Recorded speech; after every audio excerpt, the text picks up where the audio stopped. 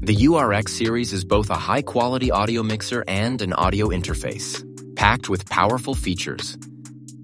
In this video, let's walk through how to set it up in standard mode, so you can make the most of everything URX series offers. URX22 and URX44 can run on USB bus power. URX44V uses the included AC adapter.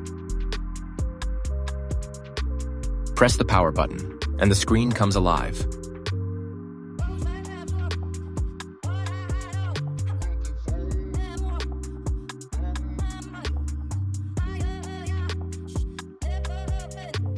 URX has two modes, simple and standard.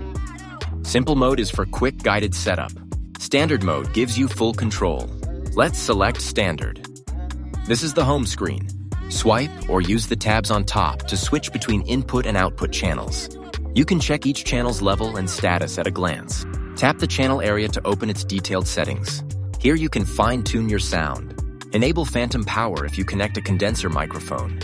Gate, compressor, equalizer, and insert effect.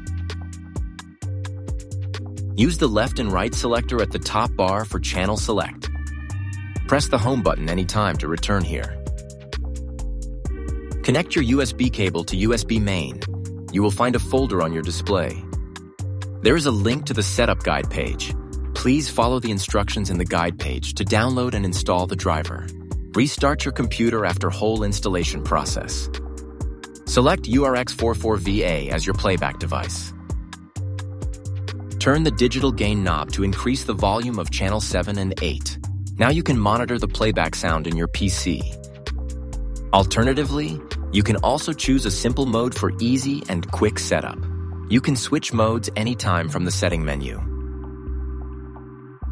We'll cover more details in another video, URX is perfect for both music production and live streaming.